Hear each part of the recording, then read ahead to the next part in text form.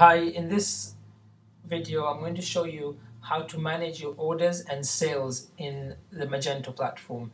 So first of all, when you log into the Magento platform, on the dashboard it gives you uh, an overview of what's happening within the business, within the online business. Like over here you can see the lifetime sales, so that's just a big figure that will come over there. Then you've got average orders amount, but then over here you've got a quick list of the last five orders. So you can actually click on one and it'll take you to the orders. And then you've got some search terms, what, what types of searches are being carried out on the website. And then on the right hand side, you've got a graph which shows the sales that have been made. So you can select it based on orders, so the figure number of orders, or you can change it to amount. So it'll show the prices on the left hand side and the graph of how much amount is being uh, how much revenue is being generated, how much shipping cost, and the amount of quantities that's uh, that's actually happening within the website. So if we then you can select last seven days, and uh, over here you'll be able to see the last seven days. So let's go back and click, uh, navigate your way to sales and click on orders. Now over here you'll be able to see the orders that have been processed or that have been uh, placed by individuals on your website um, you can see the status over here. Um, so the completed and then you've got the pending ones. So what you do, you click on the latest ones that you want to view and it'll open up information about that product. So here you've got the order date and it's got the time um, and you've got the customer name, the purchased from, so it's purchased from the main website, uh, this is mainly if you've got multiple multiple e-commerce stores um, to manage. So that's where, but here's just one. Then you've got the billing information, shipping address. You've got all the main information, um, and then uh, you've got the status of the order. You can put some notes here um, by yourself, and then once you're happy with this order is fine. What you need to do is you can click on uh, invoice. Now, generally, uh, an email gets sent out when an order is placed anyway. Um, like I've just got this email over here. So here's an email uh, which gives me an overview of uh, the order that I've just placed. So I've got the information, the contact details, and of course information about my order. So now we need to click on send um, invoice. So you click on invoice and this will now invoice the customer so the customer will actually have a, like an official invoice. And also it'll allow you to print an invoice uh, uh, print an invoice based for your records. So this is an invoice. You're happy with everything.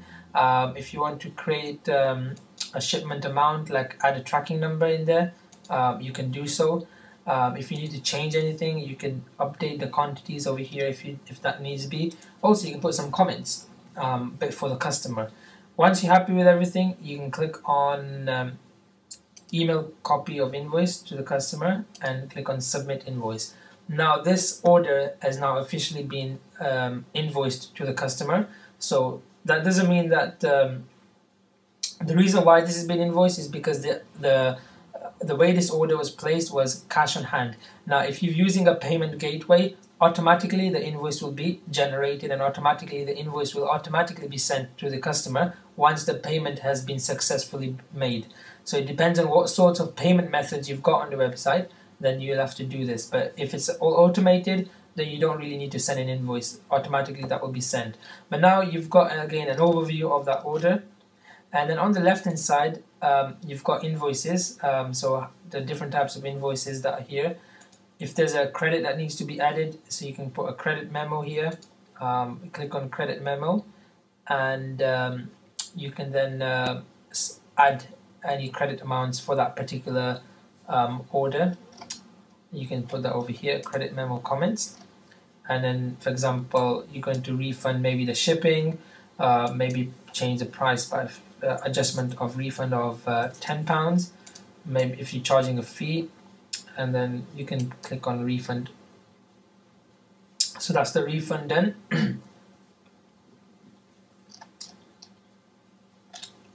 and then uh, if we go back to orders go back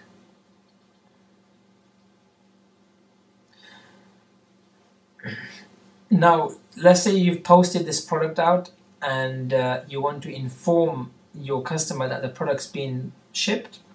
Um, you just need to click on the ship button over here at the top and uh, that will allow you to put a tracking code.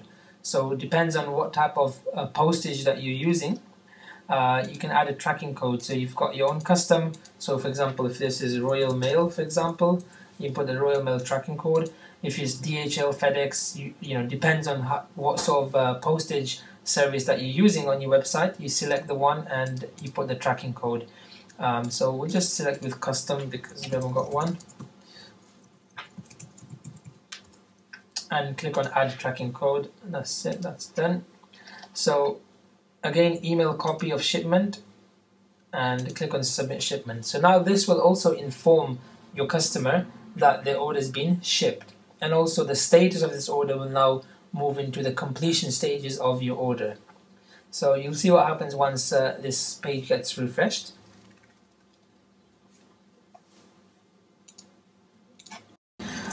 so over here you've got the status now shows complete, now that's the status of this order. And then here you've got a quick history. So the payment was, the pay order was done at 10.30, 10.39 it was processing, uh, and then at um, 1041 it's complete. So the order has actually been shipped out now. And then you've got the tracking reference number which you can click on track order which then opens up. But over here again you've got the custom uh, custom comments history. You've got the history of the comments and shipment so that this shipment's gone so if you go back to sales and click on orders Again, it'll show a list of all our orders, but then it'll show complete. This is the order that we're working on. That's complete. So these two are still in process. So again, just to make things easier, if we want to um, put a filter in place, so we can just change the filter and uh, we can click on uh, pending ones, for example, and click on submit or click on search to see if we can find any pending orders. So there's nothing pending there. Um, if we click on completed, and click on search. So these are all completed orders that are there. So if you go back here and click on search, so you can select the status of the orders. So based on that, you can then work on this page accordingly. Again, if you click on sales and um, invoices, this will show all of your invoices that have been generated. So if it's done automatically or if you've actually had to generate an invoice, it will all come up under the invoice section. And uh, one good thing about Magento is it allows you to export. So you can export in an XML file or even a CSV file for your own records. So here we've got the two orders that we've done. Uh, this is the one that we were working on recently, 1st of June. Uh, and if we click on this, it allows us to print an invoice for our records or maybe we want to send it to the customer along with the delivery in the in the postage maybe um, all I have to do is click on print and this will print the invoice for uh, the pop-up will come up for us to print the invoice.